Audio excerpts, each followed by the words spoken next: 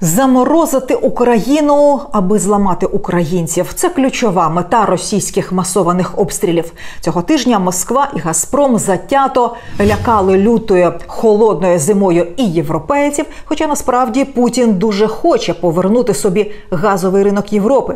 Але що він має на сьогодні? Північний потік 1 підірваний, північний потік 2 не сертифікований Німеччиною. Москва пропонувала цього тижня відкрити там вентиль, але Берлін сказав ні. Тому Путін вирішив зробити ставку на турецький потік і поїхав до Ердогана. Запропонував відкрити в Туреччині.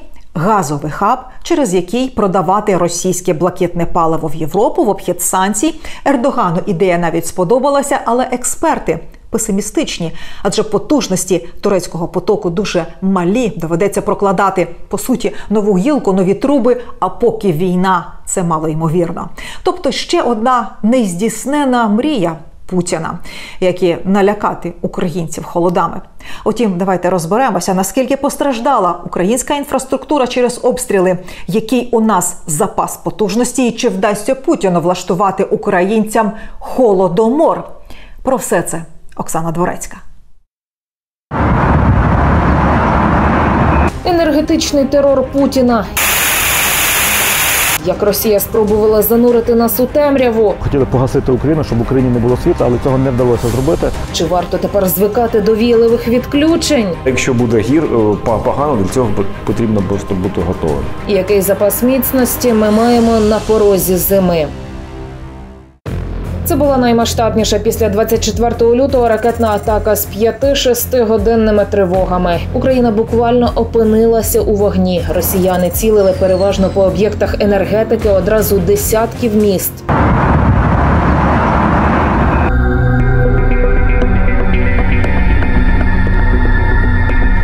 Атаки Україна чекала. Як вдалося уникнути тотального блекауту та як Путін прорахувався, сподіваючись на паніку серед українців, бо ж свічки, ліхтарики і павербенки. Нині міні-арсенал кожного українця. Це факти тижня. Підписуйтесь у Ютубі, щоб знати більше.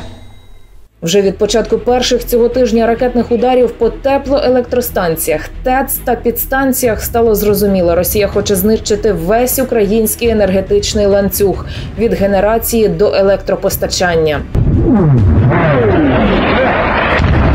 Без світла опиняється частина Житомирщини, Вінниччини, Сумщини, Запоріжжя, Дніпро, Харків, Полтава та Київ. Добряче дістається і Львову. Навколо нього росіяни зруйнували чотири електропідстанції. Місто фактично залишається без світла та води. Загалом руйнувань зазнала третина енергетичних об'єктів України. Та тотального блекауту, як хотів Путін, не вийшло. Ми були готові до того, що Росія спробує знищити важливі інфраструктурні об'єкти і проробляли різні сценарії реагування. Це жахливі кадри наслідків російських ударів по Ладижинській ТЕС на Вінниччині.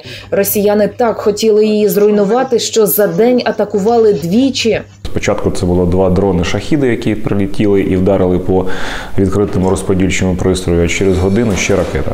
Е, Тобто додавала в те саме місце. Але як розповів фактам тижня генеральний директор ДТЕК Дмитро Сахарук, енергетики готувалися до подібних сценаріїв, тому частково мали чим замінити пошкоджене обладнання. Однак руйнування значні на відновлення знадобиться чимало часу. Частину обладнання ми купили як так резервного, який і у нас було на запасах, які можна використати для заміни. Але е, більшу частину не можна купити, тому що це є обладнання індивідуального виготовлення. Тобто це специфічне обладнання, яке замовляється, і час виготовлення це 12, 18, навіть 24 місяці. Росіяни навмисне цілили і по стратегічній бурштинській ТЕС, яка останні кілька місяців виручала європейців. Бурштинська ТЕС, е, вона розташована на енергоострові, е, з якого традиційно здійснюється експорт електроенергії в Європу. Це магістральний напрямок експорту, і так само у випадку виникнення необхідності імпорту електроенергії е, в Україну. Мета полягає в тому, щоб позбавити українську сторону технічних можливостей по експорту імпорту електроенергії в зимовий період. Експорт до Європи та Молдови Україна призупинила, аби стабілізувати власну енергосистему. Про його відновлення поки не йдеться взагалі. Зараз іде робота перш за все, щоб забезпечити і е, збудувати певну ступінь надійності подачі електроенергії до українських споживачів. Потім, якщо на нас буде виникати профіцит, то можна буде говорити про відновлення експорту. І мало ймовірно, що це відновлення експорту буде ще в цьому році. Для стабілізації енергосистеми після масованої ракетної атаки в країні запровадили віялові відключення. Як це було в одному зі столичних мікрорайонів, зафільмував мій колега Сергій Костеш. Київський житловий масив Троєщина, восьма вечора. Наша сторона вулиці відключена повністю. А ось ми бачимо будинки темні. А ось я повертаюсь, і та сторона вулиці, ви бачите, в будинках є світло. О 10 вечора ці сторони вулиці мають помінятися місцями. Тобто в тих будинках світло мають відключити, а на нашій стороні мають знову його включити. Віялові відключення знадобилися у перші дві доби після ракетної атаки. Та чи повернуться до них надалі? Поки категорично ні, ніхто не каже. Бо ж, хоч енергосистему зовні стабілізували, всередині робота ще кипить. Є в нас е, проблемні підстанції, є пошкоджені підстанції на сьогоднішній день. Тому е, активна йде робота е, для того, щоб знайти е, запасні, якісь резервні автотрансформатори, їх відвести на підстанцію, провести відповідні роботи. По деякому обладнанню ми дали запит до наших європейських партнерів і теж очікуємо, що в Україну надійдуть надійде певне специфічне енергетичне обладнання. Енергетики кажуть, насправді їм добряче допомогли прості українці, адже масово відгукнулися 10 жовтня на заклик не вмикати зайву та енергозатратну побутову техніку. Це теж допомогло стабілізувати ситуацію. Побути енергоощадливими, особливо в години пік, людей просять і надалі. Знаєте, що з домашньої побутової техніки найбільш енергозатратне електроплити. Далі йдуть обігрівачі, кондиціонери і бойлери. Трохи менше, але теж багато електроенергії споживає пральна машина. За нею йдуть мікрохвильовки і електрочайники. І на п'яту позицію нашого умовного рейтингу можемо розмістити фени, пилососи і праски. Львів'янка Ірина показує, як готується до можливого повторення Росією сценарію 10 жовтня. Тоді на цілий день опинилася без електрики, води та мобільного зв'язку. Ну, морально, мабуть, ми всі вже там підготувались до таких штук 24 лютого. Фізично ми ще закупили насправді е, газових таких.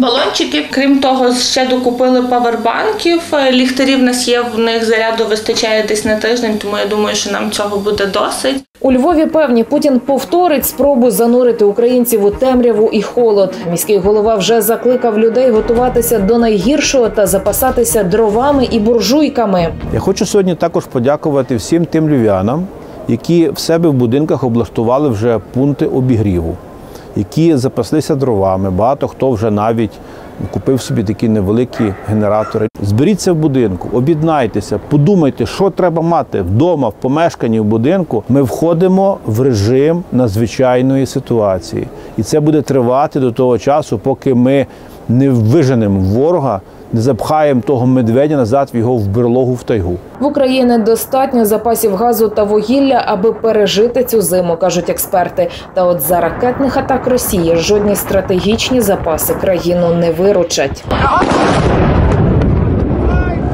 Схоже, таки буржуйки цієї зими можуть стати головним порятунком від холоду і на фронті, і в тилу. Шість тисяч таких мобільних пічок влада пообіцяла передати для мешканців деокупованої частини Херсонщини. У Києві анонсували придбання пересувних мобільних котелень, бо ж буржуйками висотки не нагрієш. Водночас самі українці кажуть, ані масованих ракетних ударів, ані погроз блекаутом і холодомором не злякалися.